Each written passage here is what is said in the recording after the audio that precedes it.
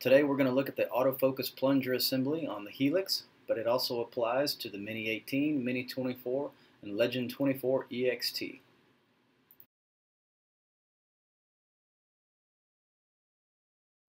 So for this exercise you'll need a medium point Phillips screwdriver and a 5 64 Allen wrench standard.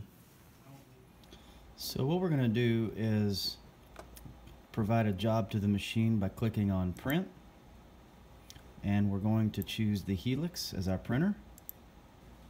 And preferences. Pretty standard steps. Now at this point if we want to use the autofocus plunger assembly having the laser table find the surface of the material we're going to be sure to make the autofocus checkbox active by clicking the box. So making sure that is checked that will turn on the autofocus feature right here. So with our job sent to the machine. We are ready to push go, but we need to make sure that our material is in the upper left corner.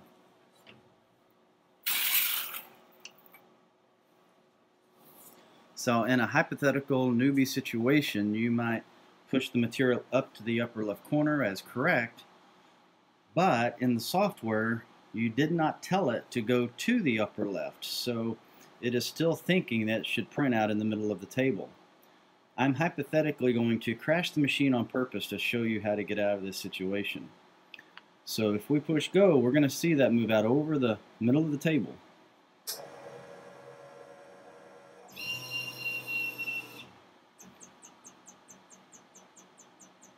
So the problem here is we have started the job, pushed go, we incorrectly positioned our plate or our job in the middle of the table, when we should have pushed it to the left, upper left.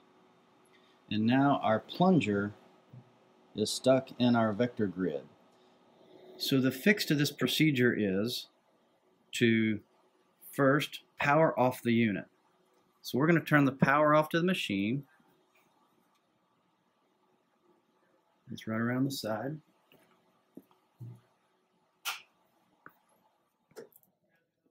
Once you have powered off the unit, now what you want to do is step back and open the front door.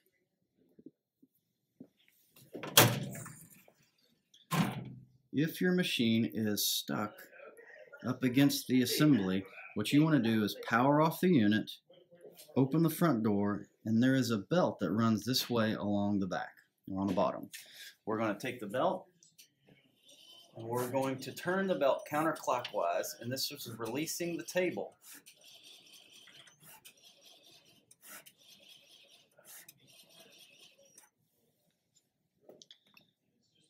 And as we turn that belt, that is releasing the table from the collision up against the plunger over here and releasing the jam on the right side where the ruler is. So with our table being lowered manually, by pulling on this belt right here counterclockwise that is bringing the table down. So we continue to bring the table down